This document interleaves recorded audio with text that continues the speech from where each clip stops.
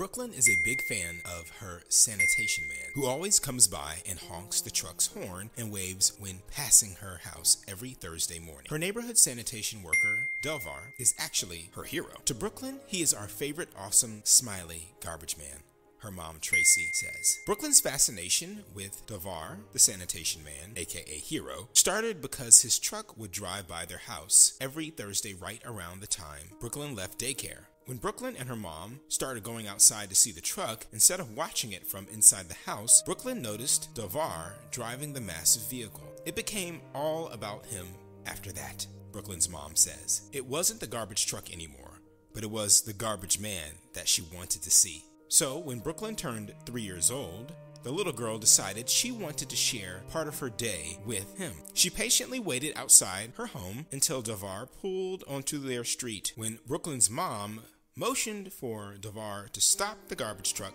Brooklyn presented him with something special one of her birthday cupcakes. As a mom, I can't even describe how happy it made me that she got to finally meet him. Brooklyn's mom says. She was literally starstruck and could not even say a word. I had to do all of the talking for her, and she is never usually shy or short with words. Delvar was instantly speechless, Brooklyn's mom said. The beautiful moment was later posted by city officials online and, of course, went viral. I explained to him that he makes our day every Thursday, and we really appreciate the honking and waving and how special of a day it is for us. Brooklyn's mom added. After he left, we continued on to daycare. Brooklyn was unusually quiet in the back seat. I asked her if she was okay, and she said, Mom, I'm so happy. And the following week, Delvar returned for his usual round of collecting garbage and gave Brooklyn a belated birthday present toys from her favorite movie, Frozen. And in return, Brooklyn made him a